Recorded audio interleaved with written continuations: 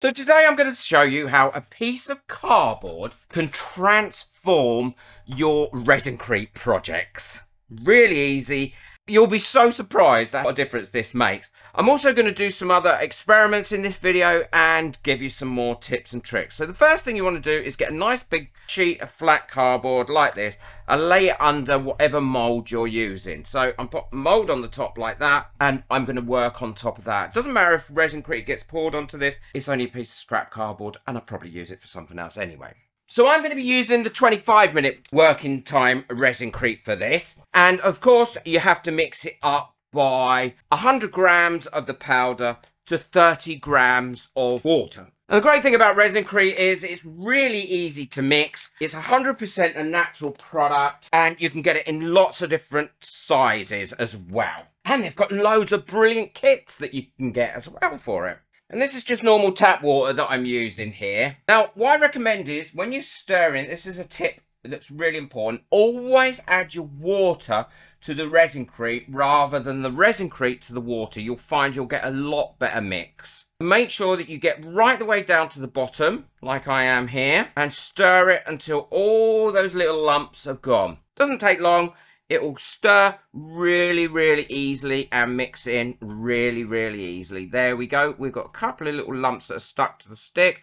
Look how lovely and quick that is. So now what I want to do for my first experiment is to split this up into three separate cups. Hey, look at that. That's nearly even. Look. Can you believe that? And what I'm going to do for my first experiment is I've got some of these acrylic inks and I bought the Montmartre acrylic inks. The reason I bought these is because they were the cheapest ones. So I'm going to give them a bit of a shake first. Now, I have no idea, these are brand new, whether this is going to work or not, but I'm interested to see if it does. What I'm going to do is put a whole pipette's worth in there, and this is the fluoro blue and then give that a mix in. Because Resin-Crete is so white to start with, it does make your colours go a little pale. I like that, but also what it does is it does slightly darken as it dries as well. You can definitely see that's got a blue in it. So I'm going to put two dropperfuls in of that blue and make sure I've mixed that thoroughly. Because this is another tip. If you don't mix your colours in thoroughly, what you'll find is when it cures,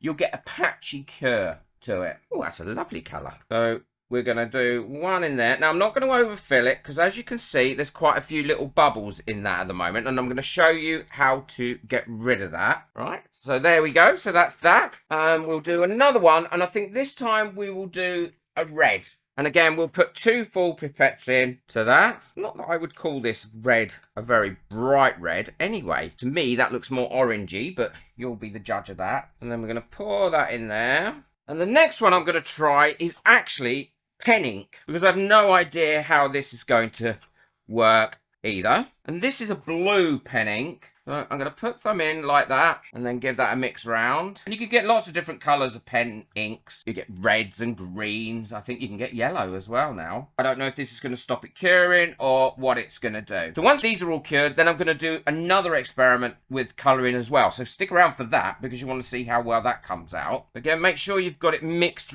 thoroughly in. That is a lovely colour, look. Okay, and now I'm going to fill those up. And the reason that we're working on a piece of cardboard is, when it's like this, it's really hard to give it a squidgy widgy when you've got flat mould. So what I'm going to do is use this bit of cardboard and just shake it like this. And that should help release those bubbles and make sure that all your bubbles are released. And when they come to the surface, because this is a quite a watery substance, then what it will do is they will just pop naturally. So I'm going to put these to one side, let these cure up for about 25 minutes, and then we can go from there.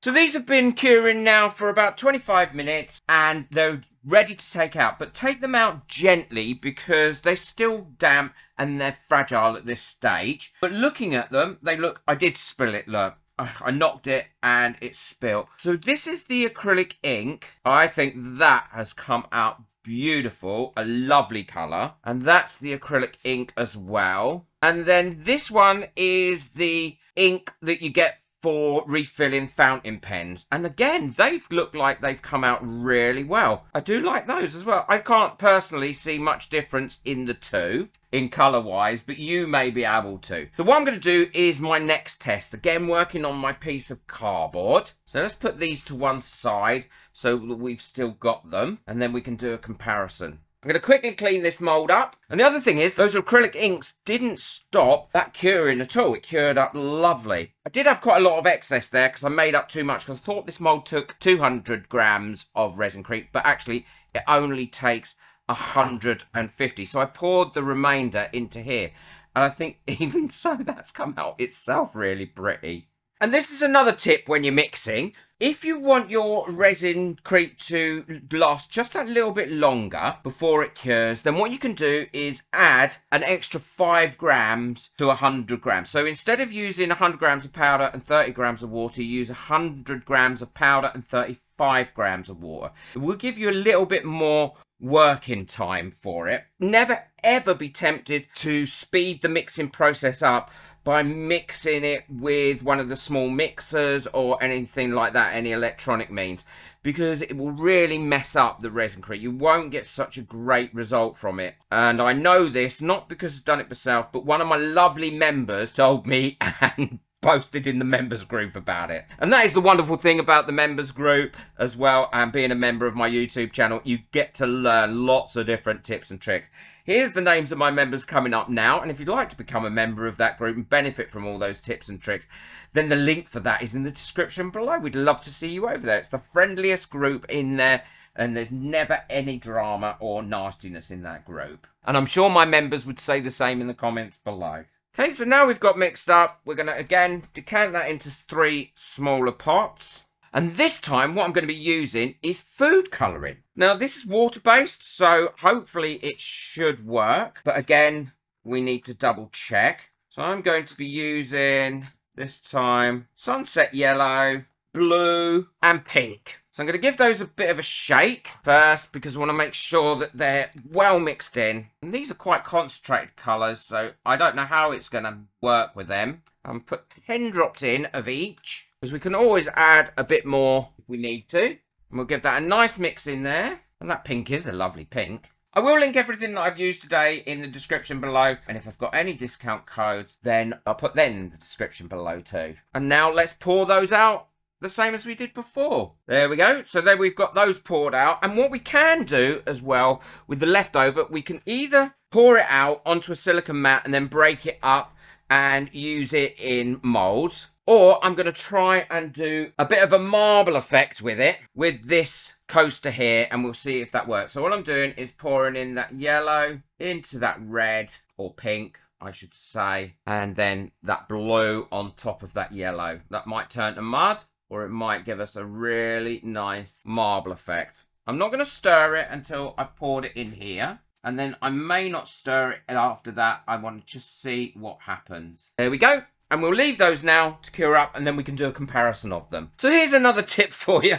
If you're going to move these while they're still liquidy, then move them using the cardboard that you've passed them on rather than pick them up like that because you're just going to make a mess like I did. So there's an extra tip.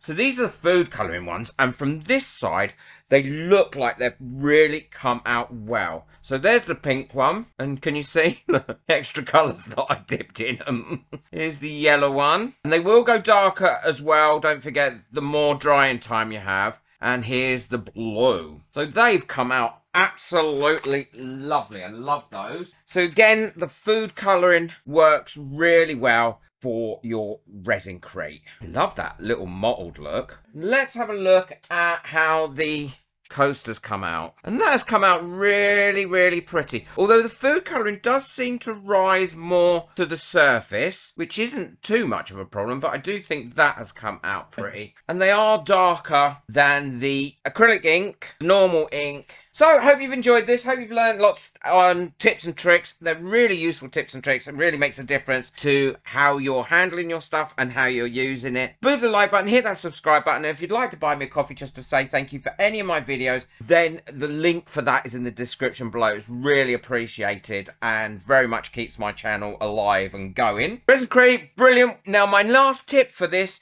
is if you're going to paint these, then make sure that you've left them to fully cure and dry first before you use any paint on them. And that will take about three days in a warm place. Now, if you're like me and you haven't got the patience to be waiting that long, then what I do is I pop them in my resin curer for three hours and I find that dries them out completely and then they're ready to paint the same day. Enjoy your resin and crafting. Bye.